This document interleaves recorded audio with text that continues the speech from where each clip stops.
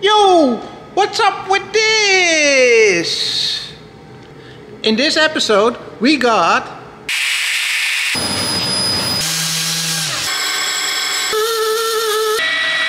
This went quick.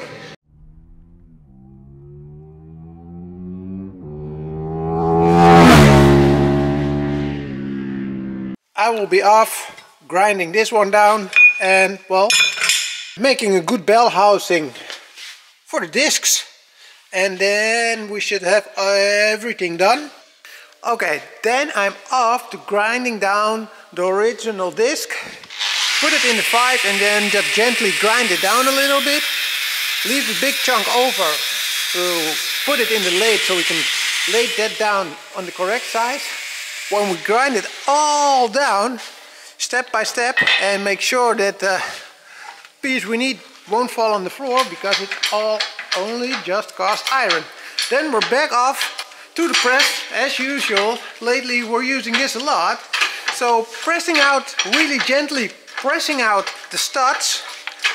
Again, it's cast iron so we need to be gentle with the studs so they can go back in later on. And then of course back to the lathe and getting the micrometer out, aligning it gently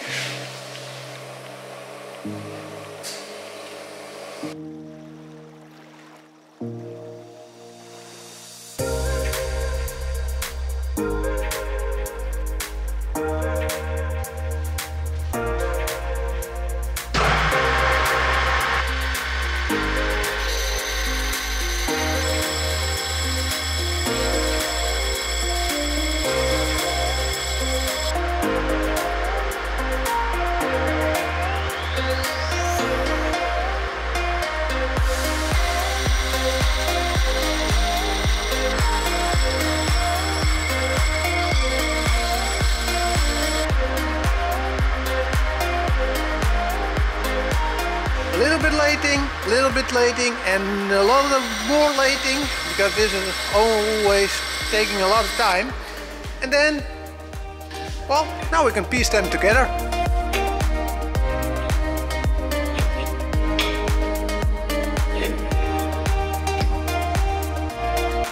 Well, that's another lating project done. So on to the final steps with my nice little mold.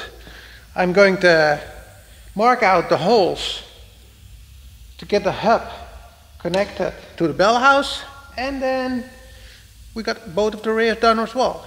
So here's my little mold.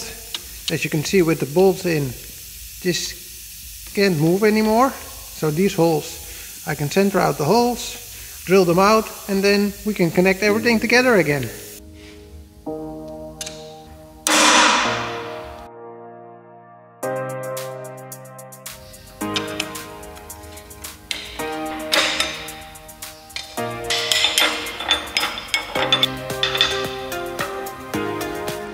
Well, it's all a game from repeat, so we're going to drill out the holes now.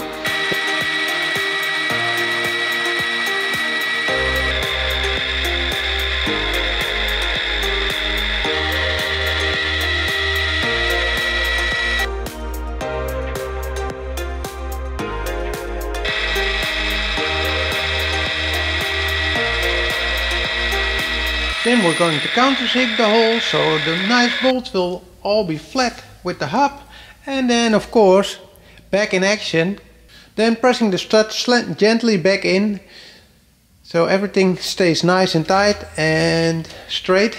So that's why we got this all filled up so that will stay straight and go ahead nicely. So we'll press them in and then there's another one ready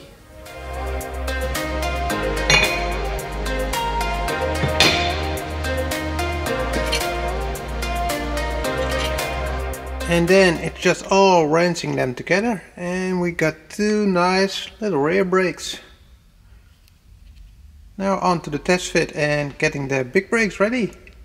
So now we are going to well scribe down the final place on where the caliper needs to be then same for the handbrake but that's a little bit more complicated to see if the, where uh, the right spot is going to be. So probably I'm going to get a cardboard piece out just get all over there. And the normal caliper is already almost on a good position on the bracket, so that's well fairly easy. Some to say that the location is already on the bracket, so we can scribe that down and put it all in the computer.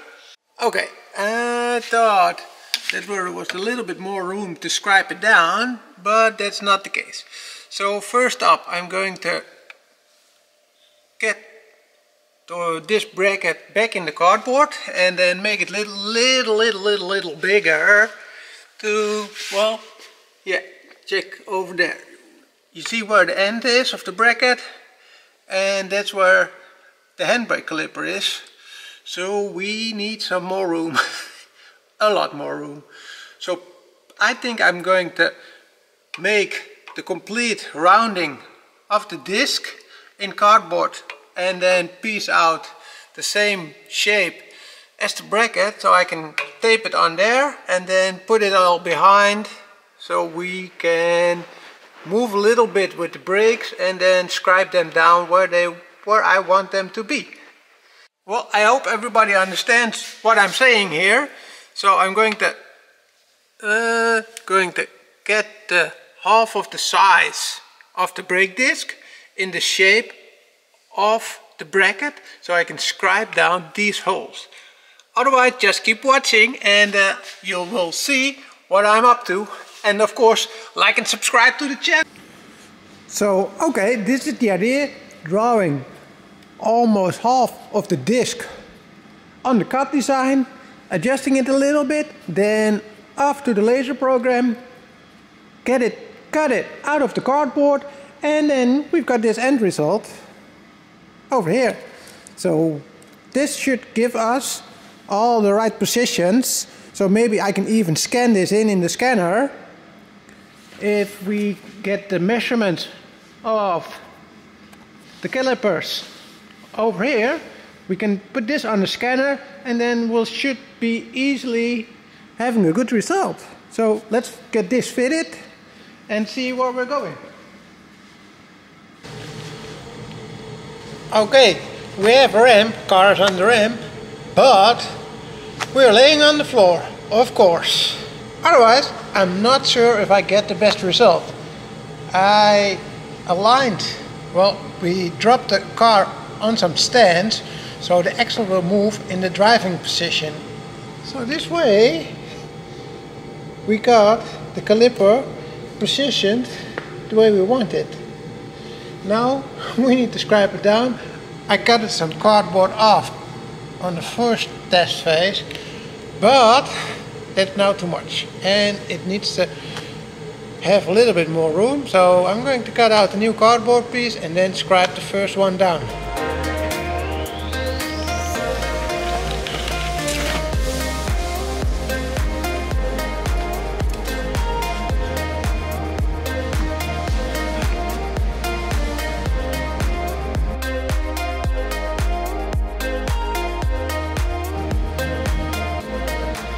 And then, of course, you figure out that it's way more fucked up, crazy, complicated than expected because the distance of the mounting of the handbrake is really close by to the disc.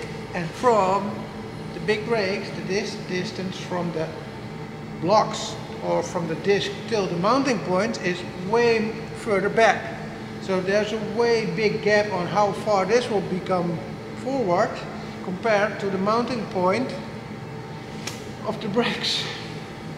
So it's going to have a little zigzag in the adapter. So that way I now need to make a separate mold of this and then somehow slice them together. Yay! So after some fiddling around, we've got everything scribed on the cardboard. Now it's onto the scanner. We can scan it in the computer and then we got all these layers and can put them on to each other and then make a nice drawing piece out of this again and then a new cardboard fit on top over it and if that's aligning with all the holes then we're good then we can decide on which distance we should go.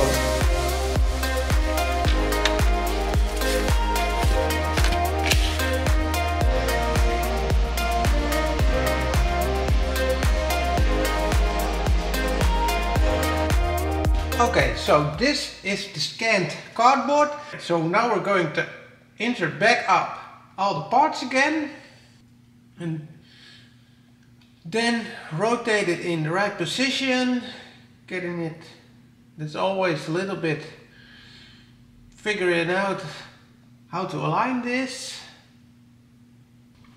So after a couple of minutes of drawing and figuring everything around, we came up with this. Here should be the handbrake, this should be the big brake, and this piece should puzzle this all together.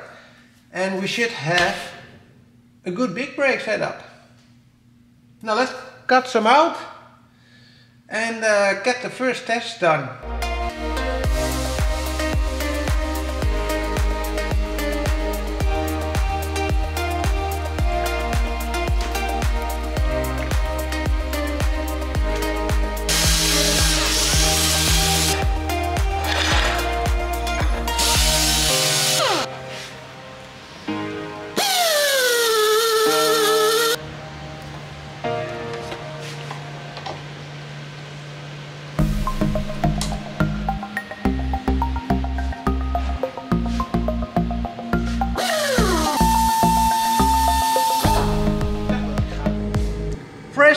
Out of steel. No crazy cardboard anymore.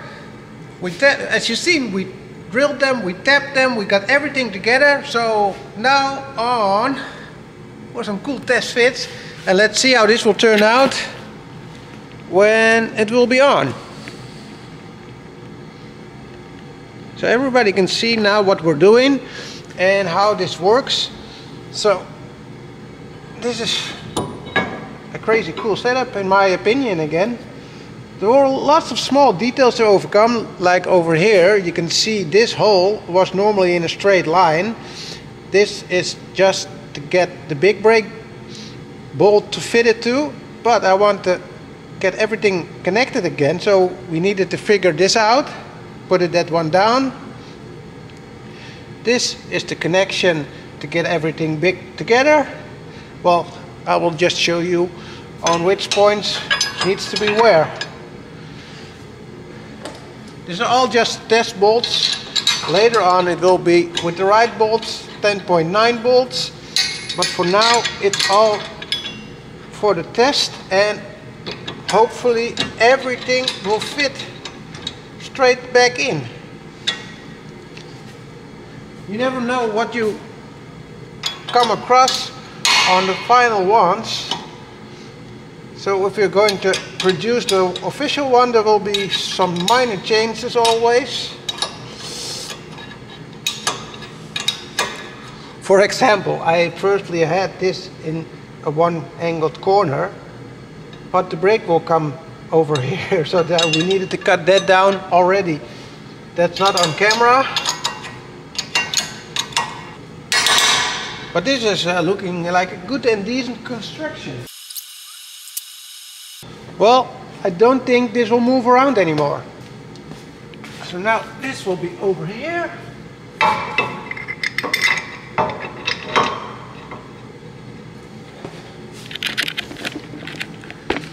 Okay, now I will just put on the brakes so everybody can see how, uh, how this big brake setup will work. Without the disc in front of it, you can really see how everything is mounted. So let's go and get the stuff on. First this way, and then you can see well how this works and how my mind works. Okay, this is what I came up with. So the only thing now I need to figure out if the disc will uh, be in the center of this caliper and in the center of the handbrake but this is all coming together now.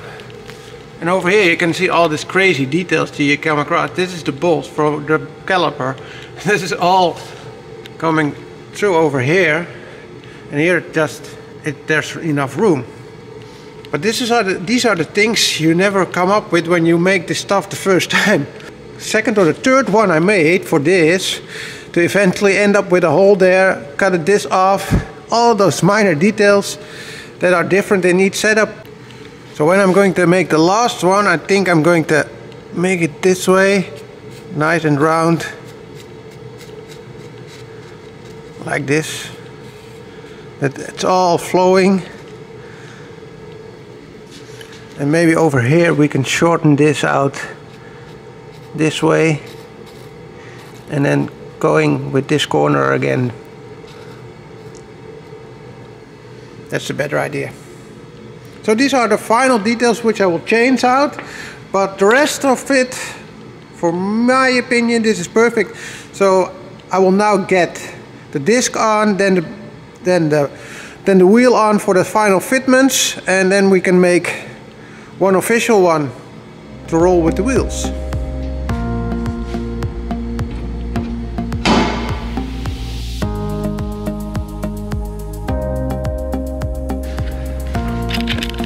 I think most of you will understand this, that I'm really happy on this result. Again, a really good brake setup in my opinion. I'm really happy on this result again. It's, uh, yeah, what can I say? It's really coming together again. Hopefully it will fit with the wheel.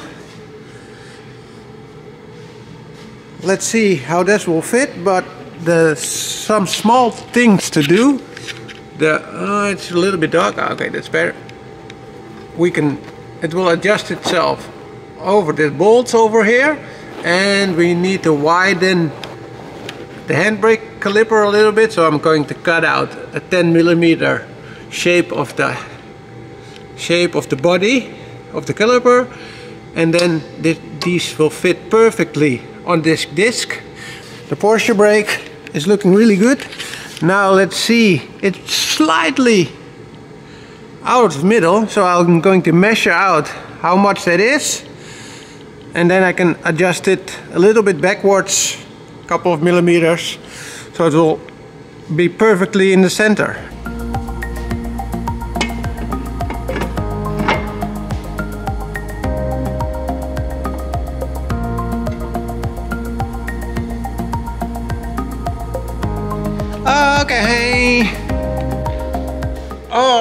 Almost perfect. Three millimeters. I want to win. So it's a little bit too close to the wheel. So I, the depth of the wheel is the same as what I've got at the front on how far the spokes will clear off the caliper, but it needs to be a little bit more out of the center because let me show you. Okay, so this distance is almost the same as the front, only there, that's a little bit too much. So it needs to come back this way a little bit, and then we're done. We've got a little bit of room on the brake pads, so it can go backwards a little bit. So I think I'm going to move it three or five millimeter backwards and then it's all done. Then the big brakes are done. So another perfect result for this setup. I'm really pleased again with this. The, the shapes and the sizes are perfect with the wheels. Not too big and not too small just how it should be.